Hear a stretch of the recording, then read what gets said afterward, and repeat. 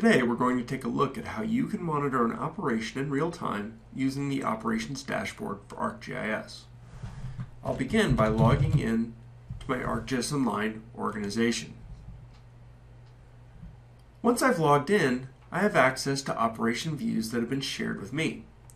Let's open the Redlands Incident Management view. The dashboard presents a view of the operation designed to present important information to the response team about ongoing incidents.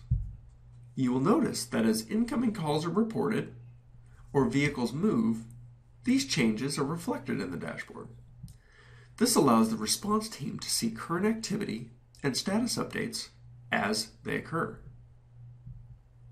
The response team can use the dashboard to get key information at a glance, such as the number of open incidents. The dashboard can be used to answer other important questions. For example, I may need to find the most recent incident. This can be answered easily using a list of incidents sorted by the time the incident was reported.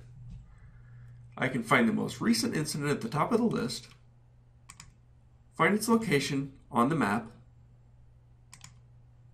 and get more information about it. The dashboard can also provide information about the frequency of the incident types that are recurring within the operation. This allows me to answer questions such as what is the most frequent type of incident that is being reported? I may also want to monitor the current position of a specific emergency vehicle. When I follow a particular vehicle, as its position changes, the map is updated automatically to show that vehicle's position in the center of the map, which allows me to keep track of its progress. I can also use the operations dashboard to better understand patterns that may be occurring within my data. For example, I may only want to see a particular type of incidents, such as vehicle incidents.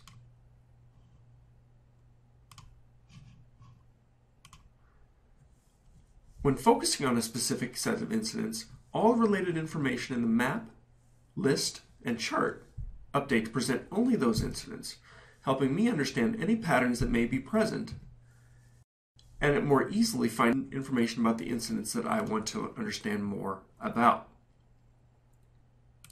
This is a quick look at how the Operations Dashboard can help you monitor your organization's activity in real time, allowing you to make more informed assessments and respond more effectively to an ever changing situation.